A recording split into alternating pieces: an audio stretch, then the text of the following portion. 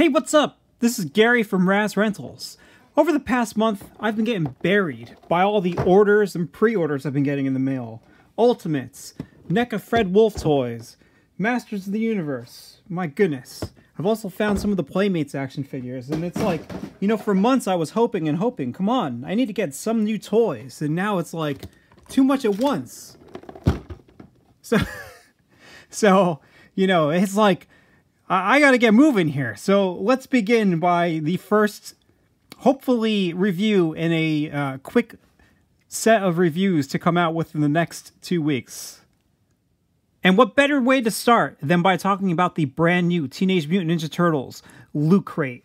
Um, you know, there was a lot of anticipation for this. People have been dying to get the action figure inside here, and that's Danny Pennington from the 1990 Ninja Turtle movie.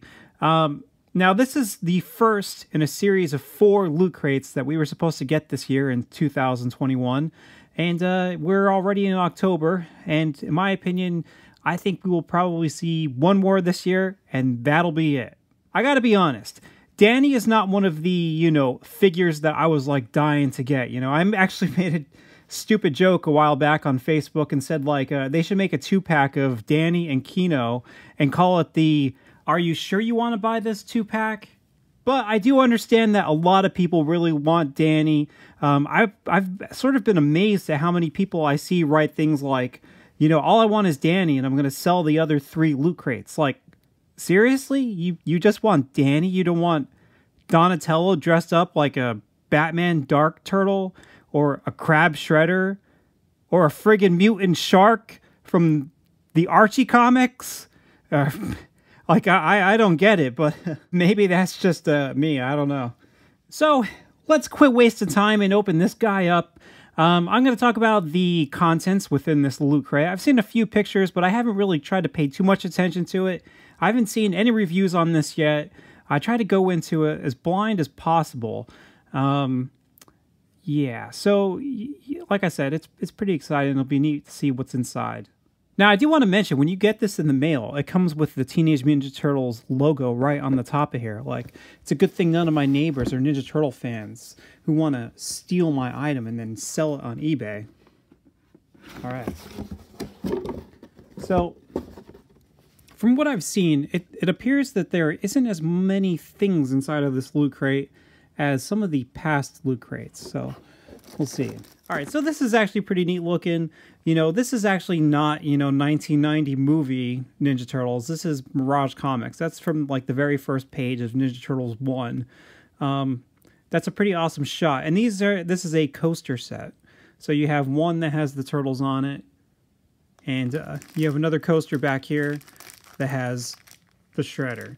And that's from uh, Mirage Comic Books number one, too. Up next, you have a Casey Jones and Raphael pin set. Uh, these are pretty cool, you know. They're nice. They look like they're made out of metal, which is pretty nice. Ooh, they're, they're so big they need to have two pins. You get a very neon yellow, like very, very...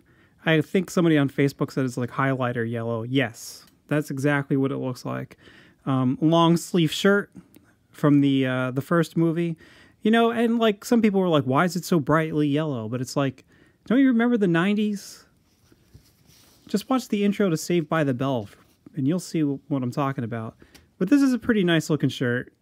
During the first year of the Ninja Turtle loot crates, I was a little late to the party, so I had to order medium shirts instead of large or extra larges to fit me. So uh, I had to get medium, and I pretty much gave all my shirts to my son. And uh, so this year, again, I bought medium shirts so I can give them to him because he seems to like them. On the back, it just says Teenage Mutant Ninja Turtles. Pretty big. Now for the main event Danny Pennington. Danny was played by Michael Turney. I think that's how you pronounce his last name. And uh, that face right there, that looks just like him. You know, that looks great. This one, I'm a little unsure about. I feel like there's something a little off about it. I don't know if it's the paint or what, but uh, you know, it could just be mine. But it looks like there's, I don't know, it's just not as good as the promo shots. Um, you can see here it comes with the Walkman that he, you know, steals in the movie. Um, package wise, it looks pretty cool. You know, you have it looks just like the two packs where you kind of have like this uh, artwork from the 1990 poster of the turtles coming out of the sewer. Love that picture. That's great. Um, on the side here, you just have a shot of Danny holding his Walkman and his Sid Vicious and Nancy shirt. On the back here, you have uh, Danny standing next to Casey, next to Splinter, and next to Donatello. And uh, don't worry, I'm going to show you how he uh, scales with these guys in the movie and how this toy scales with these guys. Um, down here, you have sort of, it's more of an explanation of the movie. It's not really an explanation of Danny. The only place where it really mentions Danny is their biggest foes are the Foot Clan, who recruit lost kids like young Danny off the street to join their nefarious gang. Other than that, it's just kind of generic information. Um, that's a great looking shot of those action figures. All right, like here, this shot right here of him on the side of the box, like that looks so much like him in the movie too. Um, like that looks pretty great. And unfortunately, like I said, mine just does not look as good as that. So I'm going to open this guy up. I'm going to move him around. Hopefully he doesn't need any loosened up and hopefully nothing breaks when I pull him out of here. And uh, I will get back to you in a second. All right, so here he is, Danny, out of the package. Now, I feel a little bad about this because I'm going to be a little negative in this review, and uh, I feel bad because I was a little negative in my uh, NECA 1990 April review, and that was like the last NECA review I did, so I feel like I'm dumping on them, but you know, I just I got to be honest here and point out the flaws uh, in this action figure. Let's talk about some of the good things.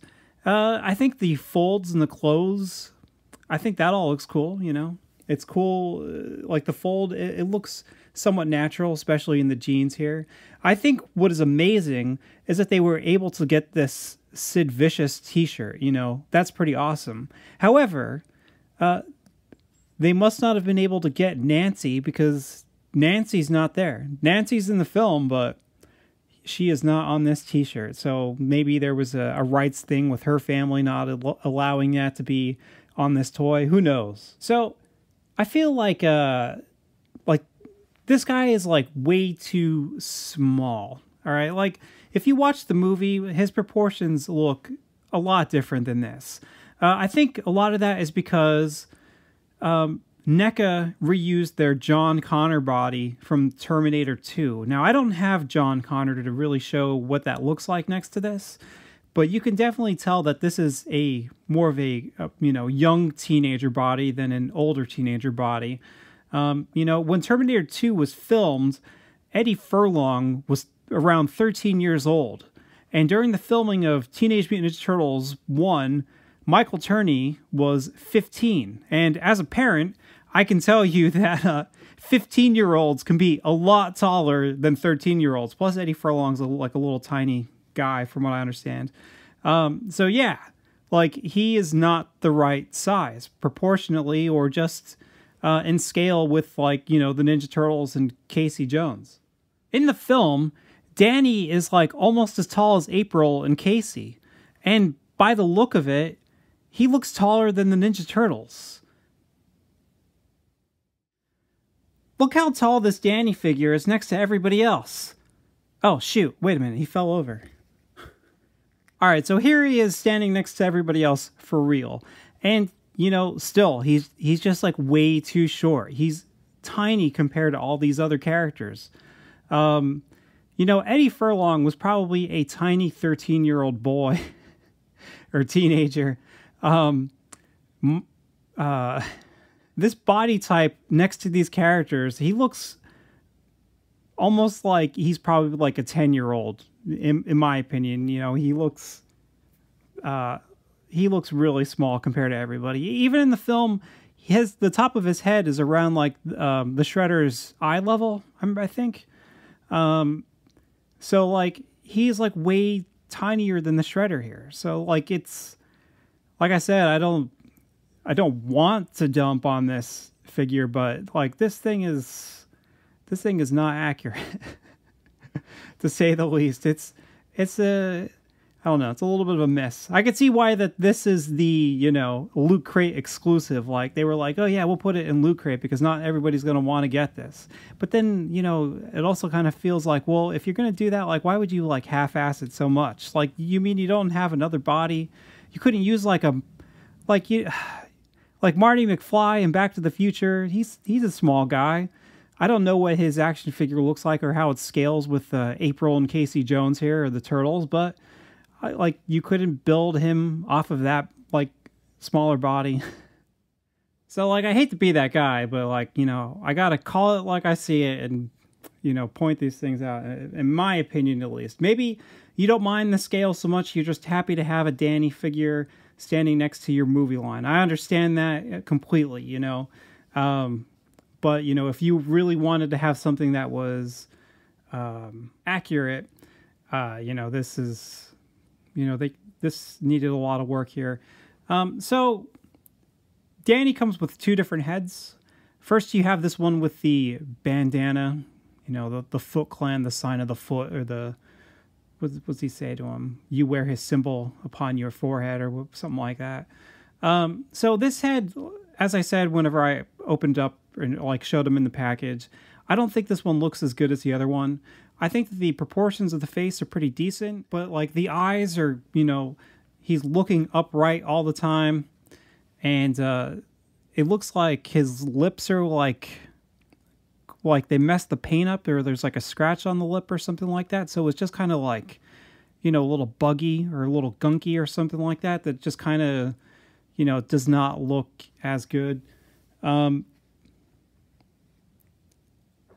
But like I said, it, like the if you look at it from the side, that looks pretty decent. Um, yeah, it's just the the paint job on this head is not the best. So in general, I probably won't display him with this head. I will display him with the other head, which is fine. You know, if you want to get uh, picky about it, like he does you know, wear this t-shirt in the film without the bandana when he's in the sewer or whenever he throws his bandana on the ground. So, you know, you you can get away with pulling off that look and still having it somewhat movie accurate. So what would you call this uh, face sculpt? Is this the teenage angst face sculpt? This, like I said, I think this one looks a lot better than the other one. You know, the paint on this one looks great. Um, Everything seems like it's lined up perfectly. His eyes aren't looking up in the air. He's looking straight at me. He he looks really mad at me. He looks like he'd be telling me like, "It's Dan now. Dan." You know, it's I think it's pretty good. I think his hair looks pretty nice too. And uh, if you turn his head around, it keeps the the mass and the proportions of his face pretty well. I don't know. I think, like I said, I think if this head looks fine, I think it. Uh, I will probably always display him with his head and not the other one. I also kind of think that it looks better on the neck. I feel like with the other head on top of his neck, it maybe um, made it look like his neck was a little shorter or something like that. This one looks a little better. It looks like he's got more room between the between his chin and like uh, his sternum or his collarbone or whatever. Um, the other one, you know, like I said, it looked like it was kind of like stuck in the, into his shoulders or something like that. This one looks better. See, you get this like weird effect because the t-shirt is like it's a separate piece. It's this like vinyl or rubber piece on top and it kind of it's kind of bulky. So it doesn't it makes him look a lot bulkier than he should be. Like it doesn't look like the t-shirt is sitting flush on his body or like, you know, it's I don't know. There's just something a little strange about it.